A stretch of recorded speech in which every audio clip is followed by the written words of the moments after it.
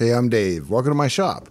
Today we're going to do something gloriously anachronistic. We're going to boot Unix on a real deal PDP 1173, the classic 16 bit mini computer, from a period correct and honkingly great DEC RA82 disk drive. If you've only ever known the polite whispers of an SSD or a modern SATA drive, then you're in for a treat.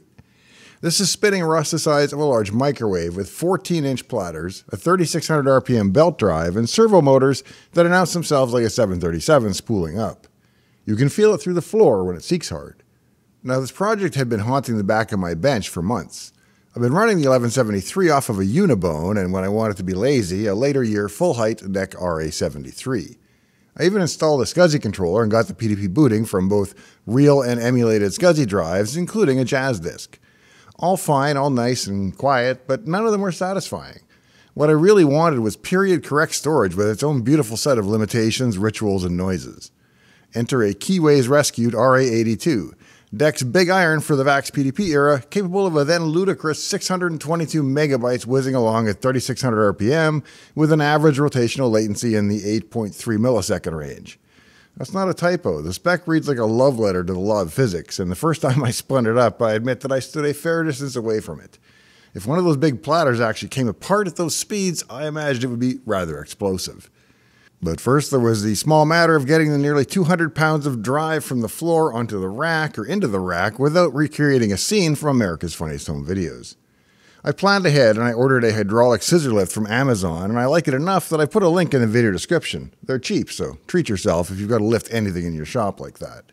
My son and I rolled the lift over, lined up the rails, and slid the R82 on, its factory sled. You don't so much install one of these as you do berth it like an ocean liner. The only time we actually had to lift its full weight was to get it up onto the lift table, and at close to 200 pounds, it's an adventure for those of us with screws and rods in our back, but we got it loaded onto that cart. DEC designed the RA82 with a kind of industrial elegance. A front panel with exactly the switches you need and no more. On the operator control panel, you get a run stop, a fault, and a ready light and write protect, and then two port select buttons, A and B, for dual port configurations. And the ready lamp isn't just blinking lights cosplay, it actually tells you when the drive is on cylinder and capable of handling host requests, while the run lamp reflects the actual spindle state. Push run and the servo wakes, the heads float, and the thing roars up to speed. Run being lit means the disk is spinning. Ready means it's on cylinder, and fault means that you have some figuring out to do. And that numbered ready lens, it doubles as a unit address plug. You actually set the drive number by trimming tiny binary tabs off the back of the cap and then plug it back in to present that code to the cam coded switch behind the lens. It's like old school dip switch energy with a DEC flourish and that ready indicator comes on only after a fault-free spin-up. It even blinks if you've deselected both ports and the drive is then running internal diagnostics, which I did by accident and then gladly took credit for discovering. The ready light will briefly wink off when serving an actual request, so it's the closest analog to a classic hard disk activity light that you're going to find. The RA82 is proudly self-aware. Inside, there are two microprocessors, a master and a servant, and they divide responsibilities. The servant CPU deals with all the mechanicals, like head loading, servo positioning, spindle control. And then the master CPU manages the overall drive state and the SDI communication with the host controller. Together, they orchestrate startup, run periodic self tests, and keep the unit honest. If something shakes loose, you can find out which subsystem actually coughed. Spindle interlocks, servo errors, hybrid faults, the works, all via the front panel blink patterns and the internal hex codes. It's a very DEC blend of microcode and machinery. Now, an RA82 is not SCSI, and it's not DSSI even. It speaks SDI, DEC's Standard Disk Interconnect. Electrically, it's a point-to-point differential link terminated at each drive, and the cabling is eight wires of coaxial weirdness. You can't just make yourself a cable without some skill, special tools, and special wiring. Logically, it becomes a home for MSCP block requests once you add the right controller. In my 1173, it's going to be the KDA 50 class MSCP to SDI interface card sitting on the QBus. And your exact choice depends on whether you're QBus or Unibus, but the SDI side is all the same. The RA82 supports dual port operation. Two controllers can be cabled, one to port A and one to port B, and the drive can be statically arbitrated between them. DEC even diagrams it out for you, complete with a reminder that it's static dual porting and that your software has to cooperate to make it all just work. The front panel AB buttons merely enable the port. The controller actually has to take the drive online. Each RA82 ships with a default 12 foot SDI cable for the external run to the I.O. bulkhead. Thankfully, Mitch included all the cables I would need, including the bulkhead piece. If I were dual porting, I'd need one more second cable, but I'm not. DEC offered everything from 6 foot to 80 foot cables. I wound up with about 15 feet of collected cable and only needed about 3, so I used only the drive cable and the bulkhead cable and connected the controller cable directly to that. But since the cables swap, transmit, and receive along each wire, you need the right combination for it to work. Because my cabinet also houses other hungry loads, I installed the sequence cable, which is DEC's serial daisy chain that guarantees only one RA80 series drive spins up at a time. Without it, a post outage everybody dance now moment could present as a simultaneous inrush that trips the upstream breaker and turns your weekend into solder fumes. DEC's caution box is emphatic install sequence cables or risk data corruption after power failures. And so I did as I was told, even though I only have the one drive. With the power, port enables, and SDI all dressed, it was time for the Wilhelm Scream, the first run press. Now, spec says 50 seconds to ready and 20 seconds to stop, but in practice it feels like about a minute of drum roll, the pitch rising as the spindle locks up at 3600 RPM. And when the ready light comes on, the platter sound drops into a steady turbine whine. I've had the thermal breaker trip on startup a few times, so I'm keeping an eye on it, but so far it's been nothing that a three minute cooldown didn't solve. DEC did a lot of work for you in the drive itself so that you don't have to. Each track has a fixed number of sectors, and each sector is wrapped in a tidy header, error detection and correction, and one sector per track is earmarked as a spare. So if a sector actually goes bad, the controller remaps it using a replacement block number and logs that mapping in the RCT, the replacement control table, on the reserved area of the media. The RA82's dual microprocessors do most of this themselves. Your job is to command a format and then present the drive when done to the operating system as a block device and get on with your life. If it's been a while since you worked with even a vintage PC hard drive, there are three steps that you need to undertake. First, you need to do a low level format. And this is the process that actually goes through the entire drive and prepares the raw sectors to handle future data. You don't do this ever on a SATA drive. It's already done for you at the factory, and that's pretty much the only way to do it. Next, you need to create the partition table, which uses sector offsets to define regions of the disk that will become independent volumes. And finally, you have to create file systems on those partitions and then copy your data to them. To do the low-level format, I use the ZUDK toolset to run the standalone diagnostics from a SCSI disk image and invoke the formatter for Unit 0. It walked the surface, calibrated the heads, built the bad block map, and initialized the RCT. There's a sort of tactile serenity to watching a drive do it all. You know down deep that there are real analog realities at play here flux reversals, partial responses, and an ECC engine working its butt off, but the interface that you see is all just logical block numbers scrolling by as the RBN list gets populated. In the end, the interface is about as neat and tidy as a modern SSD, but still, through the little Lexan window, you can see the drive performing a Quicksilver ballet of operations to make the experience actually real.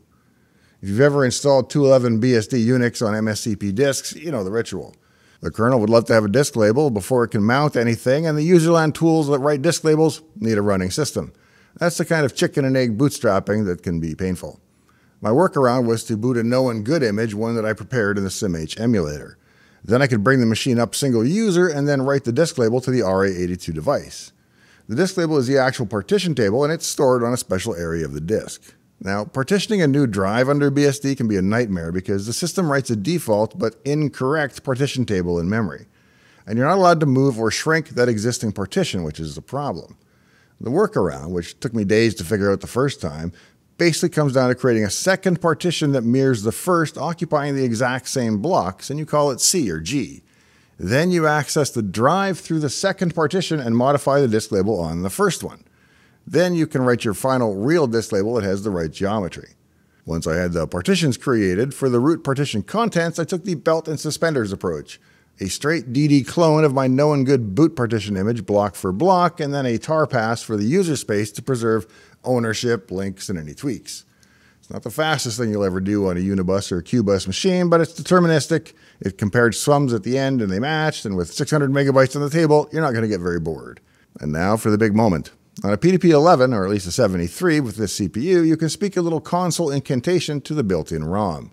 Boot DU0 tells the ROM to boot the first MSCP disk. The RA82's ready was lit, the run was steady, and when I hit it, the kernel load became the world's most satisfying progress bar.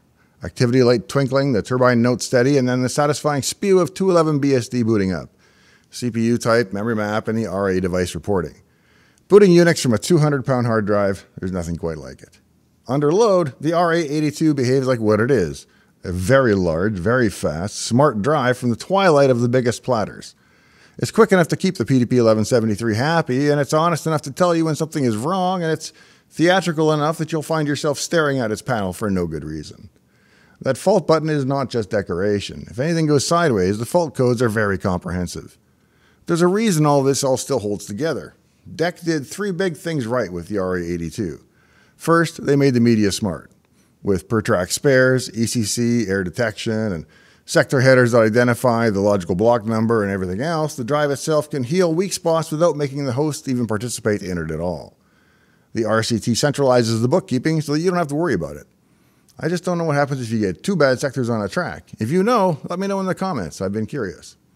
Second, they gave the drive a brain. The dual CPU architecture, a master for comms and overall control, and then a servant for servo and mechanics, lets the unit own its behavior. Power up diagnostics, lab test, fault isolation, all present and accounted for on the drive by the drive without the CPU carry. And third, they isolated you from the physics. MSCP on the PDP-1173 is a civilized interface. You just ask for blocks, and the controller and the drive conspire to make it happen. And you never have to think about skew, detents, RPM, heads, sectors, tracks, other than when you're doing a disk label, or what the servo is complaining about on that day. If something does fail, you get a precise error classification. Even the human factor stuff is good. The port select buttons don't magically put a port online, they just enable it, and your controller decides when to use it. But from a reliability perspective, it's not as ridiculous as these skeptics might assume. With an average seek listed at 24 milliseconds and head switch latency at a maximum of 6 milliseconds, those are not toy numbers. For 1173's workload, they're respectable. And the drive has its own built in sabbatical. When you tell it to stop, it stopped in 20 seconds flat. The rest of the time, it just runs. Now, if you're used to modern drives that hide every detail behind the SMART interface or SATA interface, when you're working with vintage drives, you have to accept that bad sectors aren't a moral failing. DEC designed the RA82 to repair itself. ECCs, RBNs, and the RCT exist exactly so that you can keep using the drive as it ages without babysitting it all the time. Now, every time I do one of these boot a machine from the thing it would have used back in the 80s episodes, I always get comments that are some combination of neat but impractical. And I get it. But here's why it was worth doing, even if the Unibone could have stayed in place forever. First, it's faithful. The PDP-1173 has enough CPU to keep an RA82 busy, and the RA82 has enough bandwidth to keep the 1173 honest and working. DEC engineered these pieces to be friends. Second, it's educational. You can learn more about storage from one afternoon with an RA82 front panel and user guide than from a dozen white papers. The RA82 spec, 58 sectors per track, half surface for dedicated servo data, 15 heads plus one servo head, 19.2 megabytes per spindle per second. It all tells a story of what the late 80s thought was a good balance between areal density and recoverability. And third, it's beautiful. The turbine sound says, I'm doing real work here, and the glow of the ready on the RA82 is the most honest progress bar I know. All right, let's go through the whole power up sequence. We'll start with the desk itself. We're not going to power up the VAX. We'll power up the big two RL02 drives. So let me hit that one. I have to hit a power bar for that one.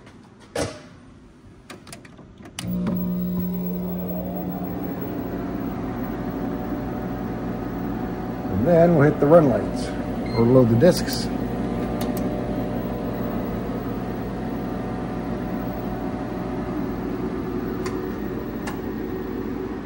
There we go, as they come online. Terminal is now active, and we can go and hit the main machine on the rack.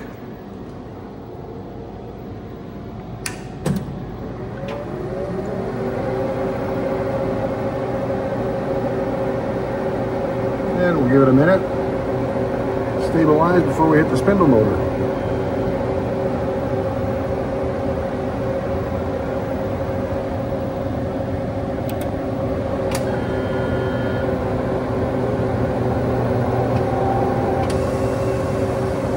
Trip the breaker.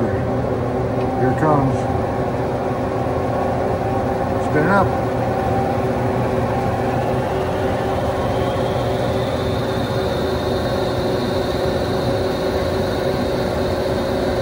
Oh, I tripped the breaker but came back.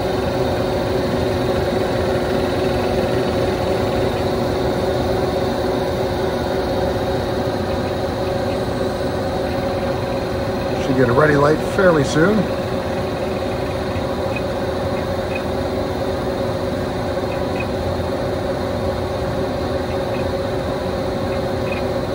There we go.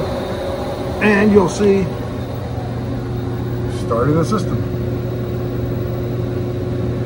Remember, I'm mostly in this for the subs and likes, so I'd be honored if you consider leaving me one of each before you go today. And if you're already subscribed, thank you. Please make sure you haven't been accidentally unsubscribed at some point. Thanks for joining me out here in the shop today. In the meantime and in between time, hope to see you next time, right here in Dave's Garage. Do it, Glenn. Do it. Do it.